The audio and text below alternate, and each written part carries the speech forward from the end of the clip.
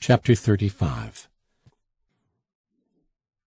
Baron Montes de Montejanos was a lion, but a lion not accounted for.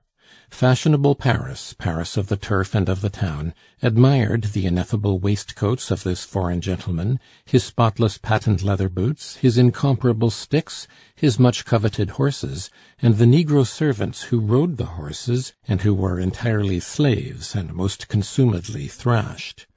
His fortune was well known. He had a credit account up to seven hundred thousand francs in the great banking house of du Tillet but he was always seen alone. When he went to first nights, he was in a stall; he frequented no drawing rooms; he had never given his arm to a girl on the streets. His name would not be coupled with that of any pretty woman of the world. To pass his time, he played whist at the Jockey Club. The world was reduced to calumny, or, which it thought funnier, to laughing at his peculiarities. He went by the name of Combabus. Bixiou, Leon de Lora, Lousteau, Florine, Mademoiselle Heloise Brisetout, and Nathan, supping one evening with the notorious Carabine, with a large party of lions and lionesses, had invented this name with an excessively burlesque explanation. Massol, as being on the Council of State, and Claude Vignon, erewhile professor of Greek, had related to the ignorant damsels the famous anecdote, preserved in Rollin's Ancient History, concerning Combabus, that voluntary Abelard who was placed in charge of the wife of a king of Assyria, Persia, Bactria, Mesopotamia, and other geographical divisions peculiar to old Professor du Bocage, who continued the work of D'Anville, the creator of the East of antiquity.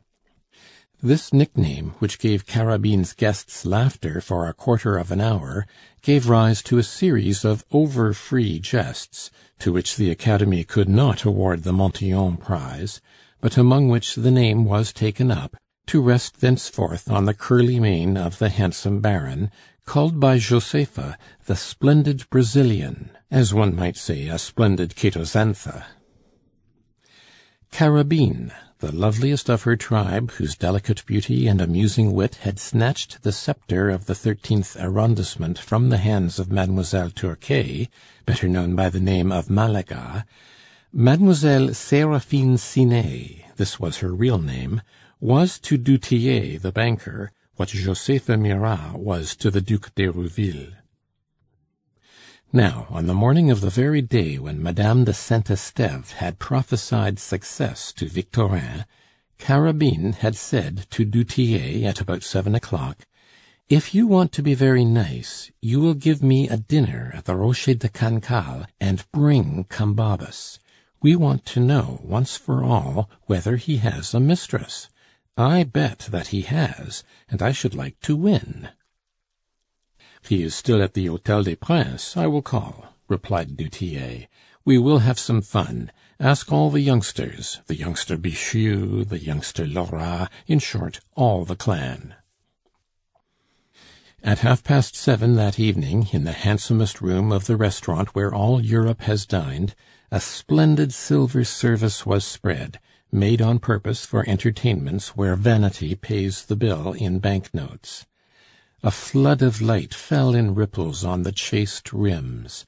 Waiters, whom a provincial might have taken for diplomatists but for their age, stood solemnly, as knowing themselves to be overpaid. Five guests had arrived, and were waiting for nine more.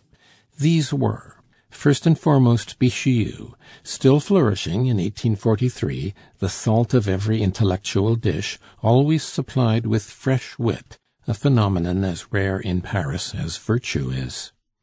Leon de Lora, the greatest living painter of landscape and the sea, who has this great advantage over all his rivals, that he has never fallen below his first successes. The courtesans could never dispense with these two kings of ready wit; no supper, no dinner was possible without them. Seraphine Sinet, dite Carabine, as the mistress en titre of the amphitryon, was one of the first to arrive; and the brilliant lighting showed off her shoulders, unrivalled in Paris, her throat as round as if turned in a lathe, without a crease, her saucy face and dress of satin brocade in two shades of blue, trimmed with Honiton lace enough to have fed a whole village for a month. Pretty Jenny Cadine, not acting that evening, came in a dress of incredible splendor. Her portrait is too well known to need any description. A party is always a Longchamp of evening dress for these ladies, each anxious to win the prize for her millionaire by thus announcing to her rivals, "This is the price I am worth."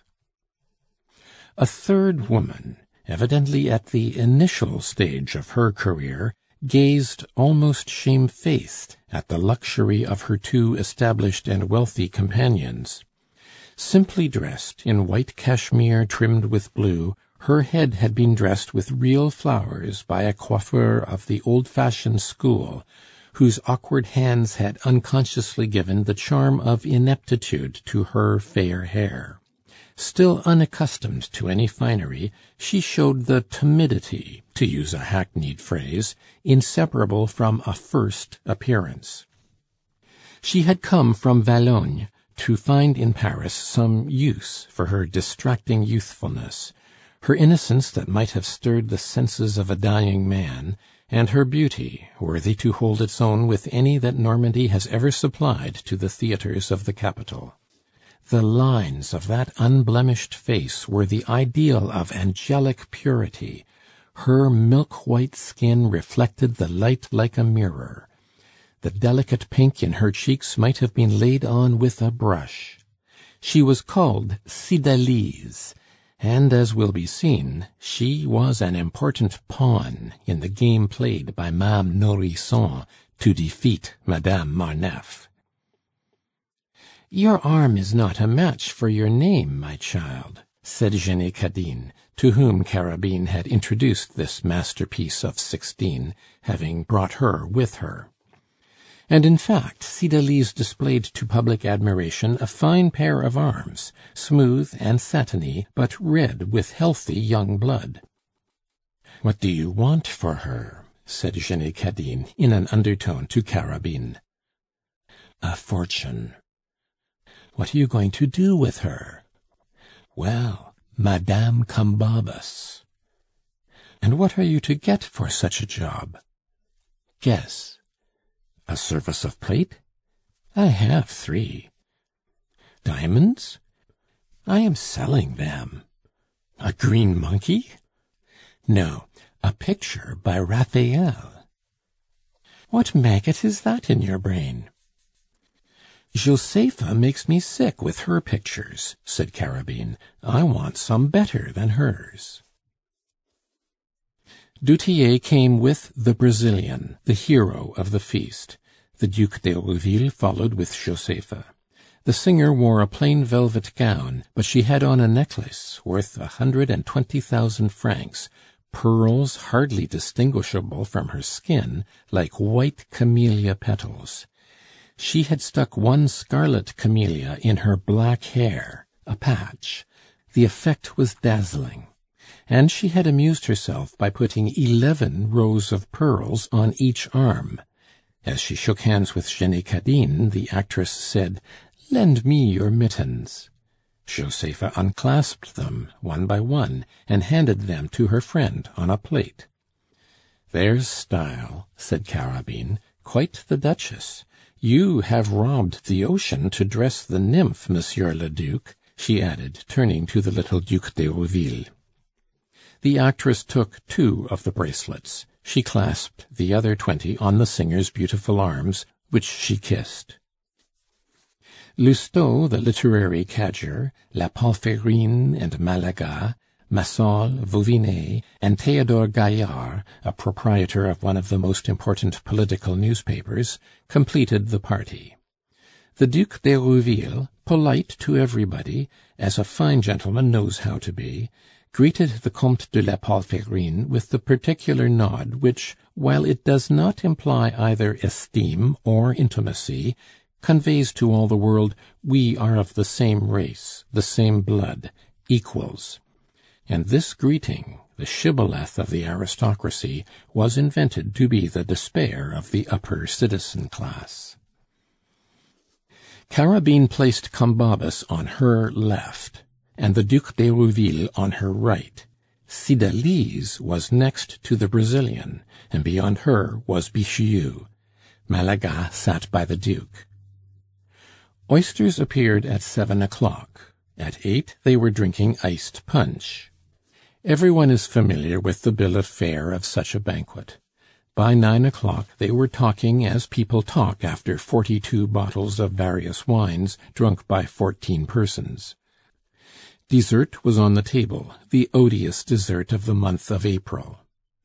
Of all the party, the only one affected by the heady atmosphere was Cydalise, who was humming a tune.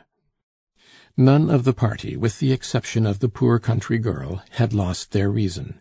The drinkers and the women were the experienced elite of the society that sups.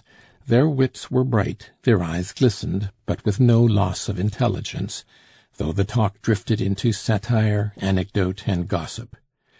Conversation, hitherto confined to the inevitable circle of racing, horses, hammerings on the Bourse, the different occupations of the lions themselves, and the scandals of the town, showed a tendency to break up into intimate tete a tete, the dialogues of two hearts. And at this stage, at a signal from Carabine to Leon de Lora, Bixiou, la Palferine, and du Tillet, love came under discussion. A doctor in good society never talks of medicine, true nobles never speak of their ancestors, men of genius do not discuss their works, said Josepha. Why should we talk business? If I got the opera put off in order to dine here, it was assuredly not to work. So let us change the subject, dear children. But we are speaking of real love, my beauty, said Malaga of the love that makes a man fling all to the dogs father, mother, wife, children and retire to Clichy. "Talk away, then, don't know yer," said the singer. The slang words borrowed from the street Arab, and spoken by these women, may be a poem on their lips, helped by the expression of the eyes and face. "What, do not I love you, Josepha?" said the Duke in a low voice. "You perhaps may love me truly," said she in his ear, and she smiled, "but I do not love you in the way they describe, with such love as makes the world dark in the absence of the man beloved. You are delightful to me, useful, but not indispensable, and if you were to throw me over to morrow, I could have three dukes for one." "Is true love to be found in Paris?" asked Leon de Lora. Men have not even time to make a fortune. How can they give themselves over to true love, which swamps a man as water melts sugar? A man must be enormously rich to indulge in it, for love annihilates him. For instance, like our Brazilian friend over there. As I said long ago, extremes defeat themselves. A true lover is like an eunuch Women have ceased to exist for him. He is mystical. He is like the true Christian, an anchorite of the desert. See our noble Brazilian." Every one at table looked at Henri Montes de Montejanos, who was shy at finding every eye centered on him. He has been feeding there for an hour without discovering, any more than an ox at pasture, that he is sitting next to, I will not say in such company the loveliest, but the freshest woman in all Paris. Everything is fresh here, even the fish. It is what the house is famous for, said Carabine. Baron Montes looked good naturedly at the painter and said, "Very good, I drink to your very good health." And bowing to Leon de Lora, he lifted his glass of port wine and drank it with much dignity. "Are you then truly in love?" asked Malaga of her neighbor, thus interpreting his toast. The Brazilian refilled his glass, bowed to Carabine, and drank again. "To the lady's health, then!" said the courtesan, in such a droll tone that Lora, du Tillet, and Bixiou burst out laughing. The Brazilian sat like a bronze statue. This impassibility provoked Carabine. She knew perfectly well that Montes was devoted to Madame Marneffe, but she had not expected this dogged fidelity, this obstinate silence of conviction. A woman is as often gauged by the attitude of her lover as a man is judged from the tone of his mistress. The Baron was proud of his attachment to Valerie, and of hers to him. His smile had, to these experienced connoisseurs, a touch of irony. He was really grand to look upon; wine had not flushed him, and his eyes, with their peculiar lustre as of tarnished gold, kept the secrets of his soul. Even Carabine said to herself, "What a woman she must be! How she has sealed up that heart!" "He is a rock," said Bixiou in an undertone, imagining that the whole thing was a practical joke, and never suspecting the importance to Carabine of reducing this fortress. While this conversation, apparently so frivolous, was going on at Carabine's right, the discussion of love was continued on her left, between the Duc d'Herouville, Lousteau, Josepha, Jenny Cadine, and Massol. They were wondering whether such rare phenomena were the result of passion, obstinacy, or affection. Josepha, bored to death by it all, tried to change the subject. You are talking of what you know nothing about. Is there a man among you who ever loved a woman, a woman beneath him, enough to squander his fortune and his children's, to sacrifice his future and blight his past, to risk going to the hulks for robbing the government, to kill an uncle and a brother, to let his eye be so effectually blinded that he did not even perceive that it was done to hinder his seeing the abyss into which, as a crowning jest, he was being driven. Du Tillet has a cash box under his left breast. Leon de Lora has his wit. Bixiou would laugh at himself for a fool if he loved any one but himself. Massol has a minister's portfolio in the place of a heart. Lousteau can have nothing but viscera, since he could endure to be thrown over by Madame de Baudraye. Monsieur le Duc is too rich to prove his love by his ruin. Vauvinet is not in it. I do not regard a bill broker as one of the human race, and you have never loved, nor I, nor Jenny Cadine, nor Malaga. For my part, I never but once even saw the phenomenon I have described. It was," and she turned to Jenny Cadine, "that poor Baron Hulot whom I am going to advertise for, like a lost dog, for I want to find him." "Oh!" said Carabine to herself, and looking keenly at Josepha. "Then Madame Nourrisson has two pictures by Raphael, since Josepha is playing my hand." "Poor fellow!" said Vauvinet. "He was a great man. Magnificent! And what a figure, what a style! The air of Francis the First. What a volcano! And how full of ingenious ways of getting money! He must be looking for it now, wherever he is, and I make no doubt he extracts it even from the walls built of bones that you may see in the suburbs of Paris near the city gates." "And all that," said Bixiou, "for that little Madame Marneffe! There is a precious hussy for you!" "She is just going to marry my friend Crevel," said du Tillet. "And she is madly in love with my friend Steinbock," Leon de Lora put in. These three phrases were like so many pistol shots fired point blank at Montes. He turned white, and the shock was so painful that he rose with difficulty. "You are a set of blackguards!" cried he. "You have no right to speak the name of an honest woman in the same breath with those fallen creatures. Above all, not to make it a mark for your slander." He was interrupted by unanimous bravos and applause. Bixiou, Leon de Lora, Vauvinet, du Tillet, and Massol set the example, and there was a chorus. "Hurrah for the Emperor!" said Bixiou. "Crown him! crown him!" cried Vauvinet. "Three groans for such a good dog! Hurrah for Brazil!" cried Lousteau. "So, my copper colored Baron, it is our Valerie that you love! And you are not disgusted?" said Leon de Lora. "His remark is not parliamentary, but it is grand," observed Massol. "But, my most delightful customer," said du Tillet, "you were recommended to me; I am your banker; your innocence reflects on my credit." "Yes, tell me, you are a reasonable creature," said the Brazilian to the banker. "Thanks on behalf of the company," said Bixiou with a bow. "Tell me the real facts," Montes went on, heedless of Bixiou's interjection. "Well, then," replied du Tillet, "I have the honor to tell you that I am asked to the Crevel wedding." "Aha! Combabus holds a brief for Madame Marneffe," said Josepha, rising solemnly. She went round to Montes with a tragic look, patted him kindly on the head, looked at him for a moment with comical admiration, and nodded sagely.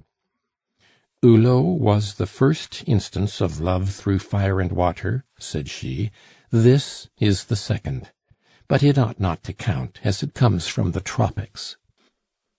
Montes had dropped into his chair again when Josepha gently touched his forehead, and looked at du Tillet as he said: "If I am the victim of a Paris jest, if you only wanted to get at my secret and he sent a flashing look round the table, embracing all the guests in a flaming glance that blazed with the sun of Brazil. "I beg of you as a favor to tell me so," he went on, in a tone of almost childlike entreaty, "but do not vilify the woman I love." "Nay, indeed," said Carabine in a low voice. "But if, on the contrary, you are shamefully betrayed, cheated, tricked by Valerie if I should give you the proof in an hour, in my own house, what then?" "I cannot tell you before all these Iagos," said the Brazilian. Carabine understood him to say magots, baboons. "Well, well, say no more," she replied, smiling. "Do not make yourself a laughing stock for all the wittiest men in Paris. Come to my house; we will talk it over." Montes was crushed. "Proofs!" he stammered. "Consider!" "Only too many," replied Carabine. "And if the mere suspicion hits you so hard, I fear for your reason." Is this creature obstinate, I ask you? He is worse than the late lamented King of Holland. I say, Lousteau, Bixiou, Massol, all the crew of you, are you not invited to breakfast with Madame Marneffe the day after to morrow?" said Leon de Lora. "Ja," said du Tillet, "I have the honor of assuring you, Baron, that if you had by any chance thought of marrying Madame Marneffe, you are thrown out like a bill in Parliament, beaten by a black ball called Crevel. My friend, my old comrade Crevel, has eighty thousand francs a year, and you, I suppose, did not show such a good hand, for if you had, you, I imagine, would have been preferred." Montes listened with a half absent, half smiling expression, which struck them all with terror. At this moment the head waiter came to whisper to Carabine that a lady, a relation of hers, was in the drawing room and wished to speak to her. Carabine rose and went out to find Madame Nourrisson, decently veiled with black lace. "Well, child, am I to go to your house? Has he taken the hook?" "Yes, mother, and the pistol is so fully loaded that my only fear is that it will burst," said Carabine. End of chapter